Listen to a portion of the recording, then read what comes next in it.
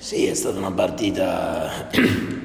quelle classiche di fine stagione, se non, se non, fosse che invece erano punti importantissimi sia per noi che per il Pescara.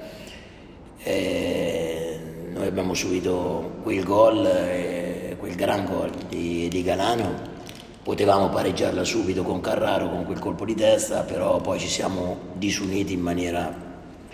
incredibile, abbiamo subito il 2-0 e è stato bravo Vicario a salvare il 3-0, però poi dopo c'è stata una reazione vera, abbiamo creato diverse opportunità e non a caso sono venuti fuori due gol, insomma abbiamo colpito una traversa, c'era un rigore a mio giudizio abbastanza chiaro su Mazzocchi, non c'è stato fischiato. Eh, secondo tempo, i primi 20 minuti uguale. Forse eravamo quelli che meritavano di passare in vantaggio, due volte è stato bravo Fiorillo, anche in occasione di quel, di quel palo. Eh, poi è chiaro, i minuti passavano, credo che a quel punto eh, abbiamo necessariamente dovuto far, eh, far riferimento a quelle che erano le forze a quello che si giocherà tra due giorni quindi un viaggio lunghissimo che ci porterà a Cosenza, quindi sarebbe stato perdere questa partita, ma sia per noi, ma credo che anche per il Pescara sarebbe stato troppo pesante, quindi per noi comunque un punto importantissimo perché ci mantiene nei confronti del Pescara un, un punto di vantaggio, anzi sono due per gli scontri diretti a nostro favore e quindi c'è solo da recuperare e pensare alla partita di Cosenza. Come spiega il blackout della prima mezz'ora una sfida così decisiva? Ma la spiego con, eh, con il fatto che sbagliavamo, cioè il Pescara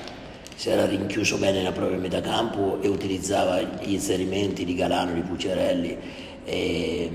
e noi eravamo troppo alti con la linea difensiva e subivamo queste situazioni. Quindi era un blackout tattico ma derivato anche dal fatto che facevamo degli errori troppo banali insomma, quindi eh, purtroppo sembra assurdo doverlo dire però in queste condizioni atmosferiche, in queste condizioni di partite ravvicinate si vedono degli errori che non dico che non succedono però non succedono con questa facilità Bella la reazione sul 2-0 del Pescara, buono il ritorno del gol di Yemel. Ancora una volta un po' di errori in fase conclusiva. Sì, soprattutto il secondo tempo, perché lì abbiamo avuto veramente due o tre opportunità clamorose. Però è stato bravo anche Fiorillo, l'arbitro non ha accordato il calcio d'angolo, però lì Fiorillo sul tiro di Merchiori ha fatto un'altra parata. Sfortunato in occasione di, sul cross di Mazzocchi, anche la palla messa indietro da Rosi era una palla bellissima se fossimo stati lì a ricevere, però credo che que- cioè, sia noi che Pescara avremmo potuto per una sconfitta recriminare Pescara per essere andati in vantaggio, noi per aver recuperato e magari avuto l'occasione per poterla vincere. L'ingresso di buon aiuto ha cambiato la partita?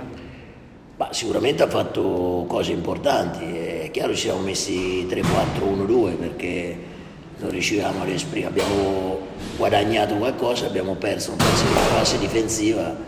abbiamo perso qualcosa perché mentre per assurdo il primo tempo loro non arrivavano con facilità sugli esterni con quel sistema di gioco che richiedeva ai due attaccanti di giocare sui terzini avversari abbiamo sofferto più però in buon aiuto è stato a mio giudizio determinante ha avuto o no le risposte che cercava dalla squadra? No, ma è inutile tanto, questa è una squadra che ha perso tante, troppe occasioni, come ho detto, quindi adesso è fondamentale anche in virtù dei risultati delle altre squadre eh, fare più punti possibili, poi dopo